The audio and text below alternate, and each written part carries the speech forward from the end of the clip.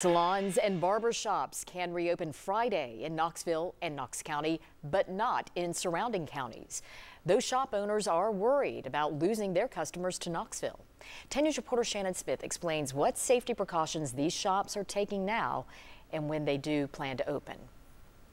Max Barbershop will reopen in Karns on Friday with new safety measures in place. We're going to be wearing masks and gloves and and I'm pretty sure I think the customer might have to wear them too. Customers will wait in their cars and stations will be sanitized after each customer.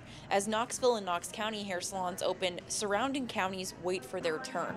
Governor Lee said he'll issue a new order addressing salons once his stay at home order expires on April 30th. Texture Salon in Maryville fears in the meantime it'll lose its customers to Knoxville. Potentially losing our clients because somebody else can open and we can't it's very disheartening to understand that you know we could potentially lose that client forever. Knoxville barbers encourage people to support shops in their own counties. Shannon Smith, 10 News.